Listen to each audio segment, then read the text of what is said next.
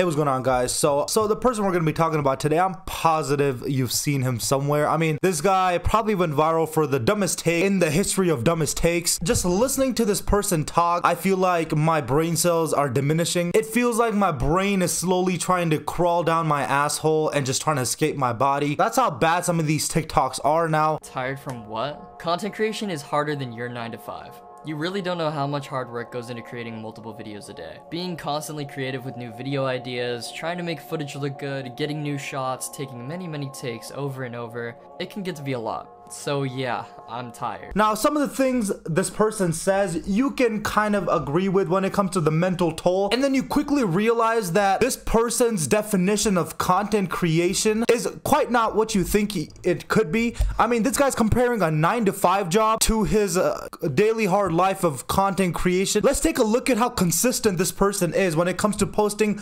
literally TikToks, 60 second videos or less. So the last video he posted, it was on the 12th. Keep in mind, as I'm recording this video, it's the 26th. And uh, these are 60 second videos. You also got to keep in mind. For that, he posted on the 7th. So a five day period between a 60 second video. And then after that, his next video was, was nearly a month before. Next to that was another near month before. So he's posting about a TikTok every three and a half weeks. And this guy sits up there and says content creation is harder than a nine to five job. Now, I love the idea and I love the enthusiasm, but you really got to back it up. I mean, if you're really gonna sit up there and say something that ridiculous for millions of people to see, at least be daily or post every other day. This guy posts less than me and he makes 60 second videos. I mean, if you're gonna talk shit, you better be able to back it up. That's like me teaching you guys how to fight when I am a 0 and 13 when it comes to my fighting record. It's like me teaching you how to fight while there's a video of me online getting my ass whooped by a 12 year old that has autism who also happens to have one leg and one arm. You cannot sit up there and say stupid shit if you can't back it up. But you know, maybe his daily life is hard. Let's take a look at, at his daily routine. Um, he posted a vlog, or you, if you want to call it a vlog. I don't know what, what this is even considered. Typical day in the life of a streamer.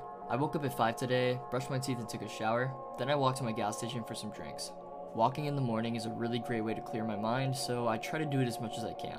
I edited two videos waiting for my sheets to wash and dry, and then I made my bed. After organizing, I had a 3 hour stream where I averaged 90 viewers and peaked at about 150. Wasn't feeling the best today, so I went to sleep. Right, so this guy, this warrior, this barbarian's hard life is waiting for his sheets, going to the gas station, and then making two TikToks, which apparently he doesn't even post because his posting schedule is almost three weeks apart. So, so how in the world did you make two videos in one day and on top of that didn't even post? I mean, you guys gotta remember, this is a day in a life. You're supposed to make your life seem hard. And if this is as hard as he can make his life seem, he playing video games for three hours and streaming, you can't call streaming a job unless you're actually living off of it it. And keep in mind, this is the same guy that's saying his life is harder than a regular 9 to 5 guy's life. But maybe that was just one of those day in the lives where he's just showing a light day, right? That's what we're all probably thinking. Let's take a look at another day in the life as a content creator. Man, if you're enjoying the video so far, subscribe to the channel and leave a like. You might as well, it's right there. And if you want to talk to me, go shoot me a DM on Instagram. I respond to practically every message on there. Day in the life of a full-time content creator.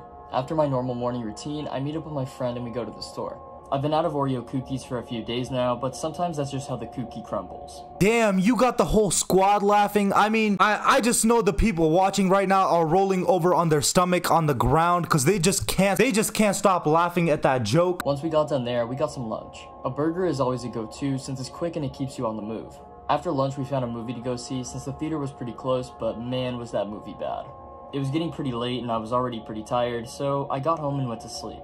You see what I'm saying? What did he do in his entire day besides hang out with his friend and get food? Now, something else intrigued me during this uh, research phase of this video, and it's actually his friend who also does these day in the life of a content creator videos. Let's take a look at what he's cooking up. Day in the life of a 19-year-old high school dropout that just happened to be a full-time streamer. You might not believe me, but I shower every day and have a strict morning routine. I make sure to follow this so I can be more productive throughout my day. But after finishing that, that up, I got straight to the grind checking emails and responding to messages. I try to do this every morning so I don't forget later on, but my roomie said he wanted to go shopping, so we headed out and ended up going to this Asian supermarket. I picked up some matcha powder because I've been wanting this stuff, and you know we had to stop by Happy Lemon because they serve some of the best boba. I always go with the Okinawa fresh milk. When I got home, I ate some donuts and chilled out for a bit, watching a few streams. But it was time to work on some content, so I spent a few hours filming a couple of TikToks. I also had to work on some new material, so I sat in my living room and scripted a few videos as well. And I know I still have to get a couch, I'm working on it. By now, I thought it would be a good time to stream, so I hopped on my PC and got on Val. I wanted to play with my roomie, but he fell asleep, so I tried my best to keep it quiet while I was playing with myself. And after a pretty eventful day, I got tired and went to bed. Alright, so a little better than his uh, friend, I, I would say, you know? Uh, he spent half of the day slacking off and then the other half actually doing work. Or so we think, right? He says he spent two hours making videos. Let's take a look at this man's consistency. So just a few clicks, I was able to go to his YouTube channel. Let's take a look at this consistency. The last video he posted was two months ago. The video before that was three months ago. Two videos in one month seems like a big milestone for him. And then four months, posted three videos in that other month. And then before that, he quite literally abandoned his channel for four months. That is how hard a life of a small content creator is. Like, I understand this shit is hard, uh, mentally speaking and uh, brainstorming wise and all that stuff. You can't compare a nine to five job to content creation, especially when you're not doing jack shit. If I'm getting more work done than you, then there's a problem because I'm juggling around about four different things at once. So please, let's not say that, especially when you can't back it up. Like, I'm positive the guys up top or the people that are actually living off of this shit, I promise you that shit is probably harder than a nine to five job. But at the end of the day, they are doing what they love and